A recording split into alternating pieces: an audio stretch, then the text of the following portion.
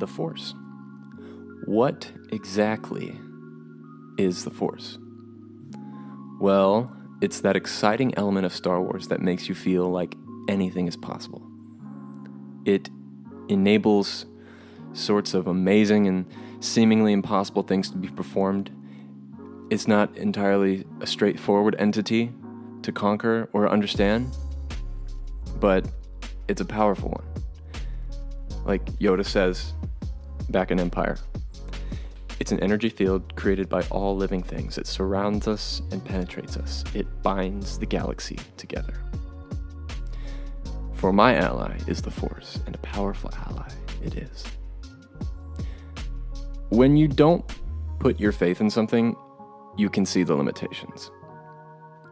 And I think that's what the Force tries to acknowledge. Just putting your faith in something, and it can give you uh, get you to a point where it makes size and strength inconsequential, and it just makes you a, a more powerful, more self aware being. And the force is something that's always going to be there. The force is essentially trusting your instincts. My theory is it's kind of like a sixth sense, a subconscious process of your brain. One example I will uh, give this is actually from Rebels, Star Wars Rebels, the animated show. Uh, Kanan. Kanan, at one point, spoilers if you haven't watched it, in season three, he loses his sight. I can't remember how exactly, but I think it was a lightsaber hit to the eye. It was either Darth Maul or Darth Vader. It's been a while since I've seen it. But he loses his ability to see, and he wears a bandana over his eyes for the rest of the two seasons. And he uses the force to be able to see. It's not through a sense of smell, it's not through a sense of touch.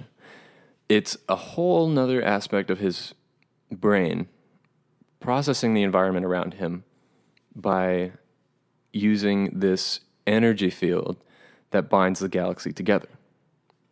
The force binds everything together.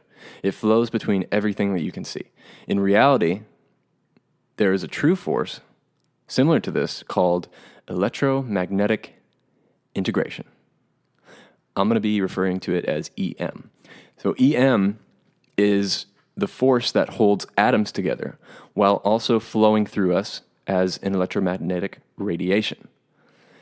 This force is conveyed via photons by the unit of light. And it's what makes us see objects because photons travel to our eyes from said objects. And that's how we're able to see. Similar to how Kanan was able to see without using his eyes. So, so depending on how you're looking at it, the force is real.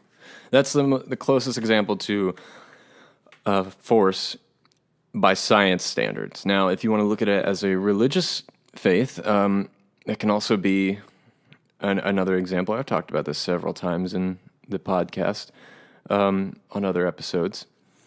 But the force is just something you have to believe in. And if you can believe in it strong enough, then you can control it.